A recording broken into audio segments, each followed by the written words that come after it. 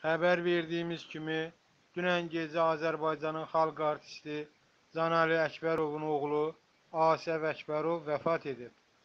Media Postun məlumatına görə, mərhumun nəşi bu gün səhər saatlarında doğulub boya-başa çatdığı Lənkəran rayonu Tükəvilə kəndinə aparılıb. Canali Əkbərovun qız nəvəsi Günel Əkbərova Media Postu açıqlamasında dayısının qaraciyər çatışmamazlığından dünyasını dəyişdiyini bildirib.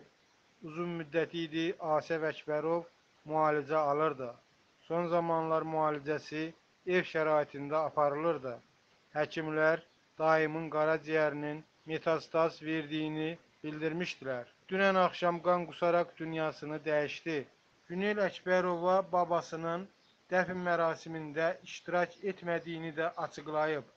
Həkimlər babamın dəfn mərasimində iştirakına icazə vermədilər.